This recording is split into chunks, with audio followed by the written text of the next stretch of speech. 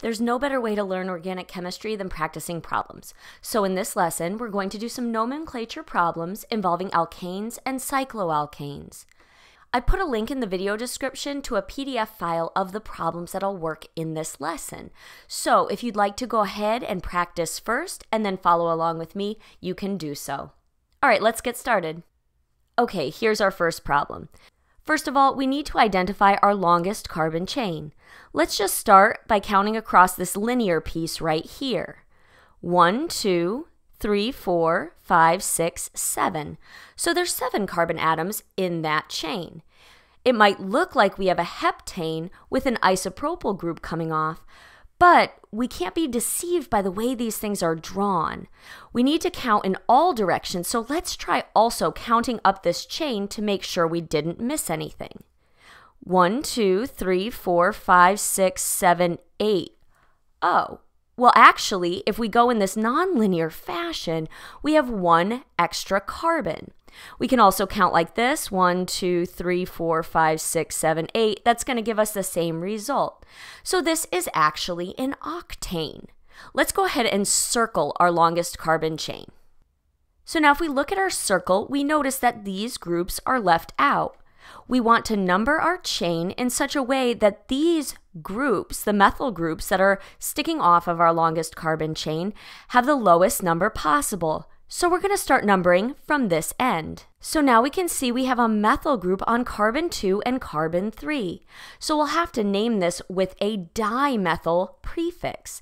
And we'll need to show the numbers that we used. So we're going to write 2 comma 3 dimethyl and then use our parent chain name, which is 8 carbons, so it is octane. For our next example, let's try a haloalkane. Okay, first things first, let's look for our longest carbon chain. And don't ignore any substituents that are sticking off. Try to count up those chains as well to make sure you don't miss it.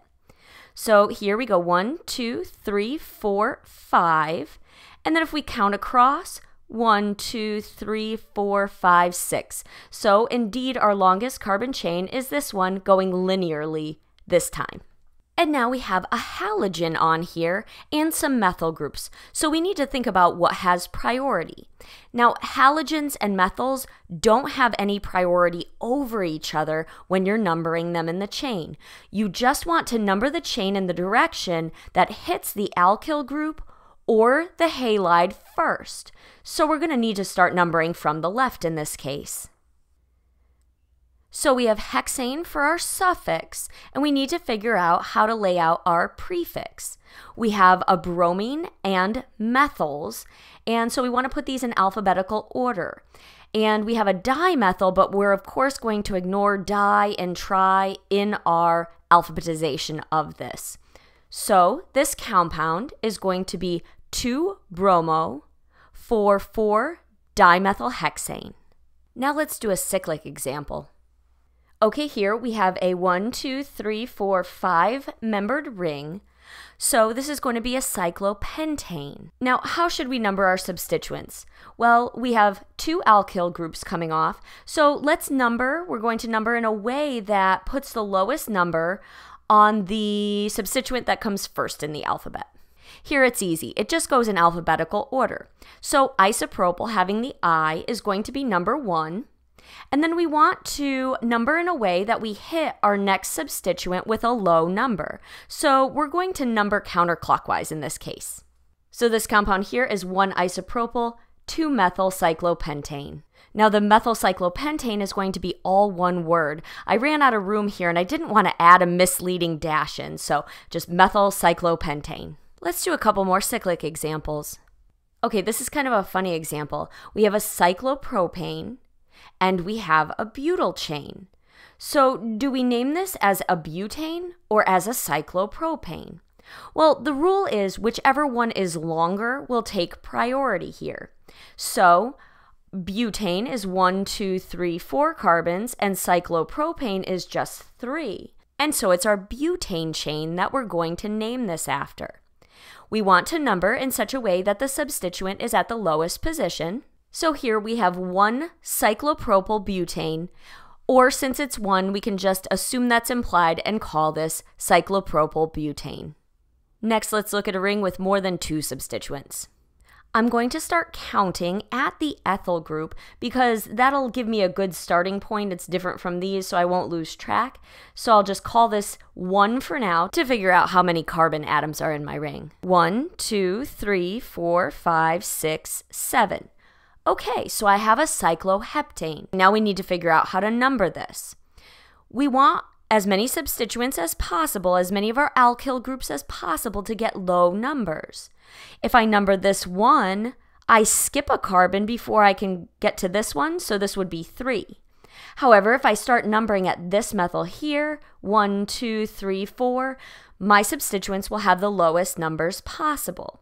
If I went in this direction, one, two, three, four, five, six, I wouldn't get into this one until it was number six. So the way to do it is in this direction.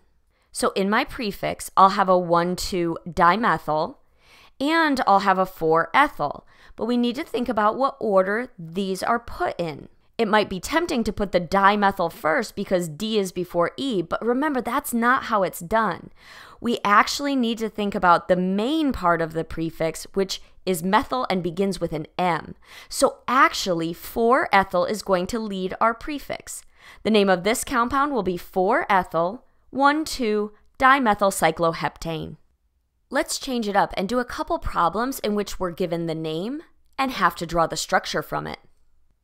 Okay, here we're given trans 1 bromo 3 methyl cyclohexane. It's most straightforward to just start with our suffix, our cyclohexane ring. Let's arbitrarily put some numbers on this unsubstituted cyclohexane. We need to add a bromine here at the 1 position and a methyl over here at the 3 position. But these are trans. What that means is they are on opposite sides of the ring, and so we need to draw one coming up and one going back. So I've added on my substituents with a solid wedge coming up to the bromine and a dash going back to the methyl group to show that they're on opposite sides of the ring. There's actually one more possibility for this compound. I don't want to get into stereochemistry too much in this lesson because that's not the goal here. The goal is just naming. But if we put bromine down and the methyl coming up, we actually get a different compound. These two compounds are not the same. We can't put this on top of it and have everything line up because the bromine is going back in one and coming out of the page at you in the other. These are actually mirror images of each other, and so enantiomers are possible for this given name. Let's try one more problem where we generate the structure given the name. We have 3-chloro 5-ethyl heptane. Let's begin by drawing out our seven membered chain given the prefix heptane. Here's our seven carbon chain.